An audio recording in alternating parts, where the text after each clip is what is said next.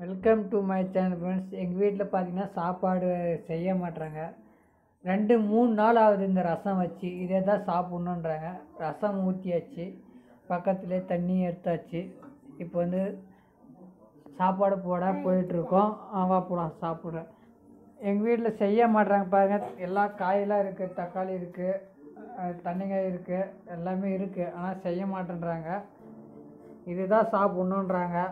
கேட்டால் அடுத்து பாருங்க சாப்பாடு போடுறதுக்கு போகிறாங்க இதுக்கு வந்து எங்கள் வீட்டில் வந்து பாருங்க இங்கே பார்த்தீங்கன்னா சோளக்கதிர் வேசி வச்சுருக்காங்க.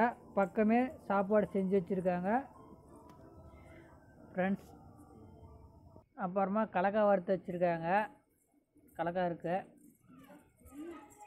இப்போ வந்து சாப்பாடு போட போகிறோம் கரண்டி எடுத்துன்னு வந்தாச்சு. போடலாம். பாருங்க சாப்பாடு கேட்டால் என்னை மட்டும் என்ன சாப்பாடு செய்யுதுன்னு கேட்குறாங்க ஆனால் வந்து நம்ம சொல்கிற சாப்பாடு பிரியாணியை செஞ்சு போட போகிறாங்க ஒன்றும் இல்லைங்க அது ஒன்றும் இல்லைங்க. இந்த ரசத்தை மட்டும் மாற்றுங்கன்றான் டூ டேஸ் மேலே ஆகுதுங்க ரசம் வச்சு.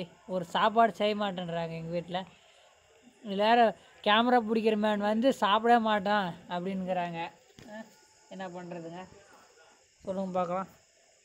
போதும்ப்பா இந்த சாப்பாடு விட போதும்.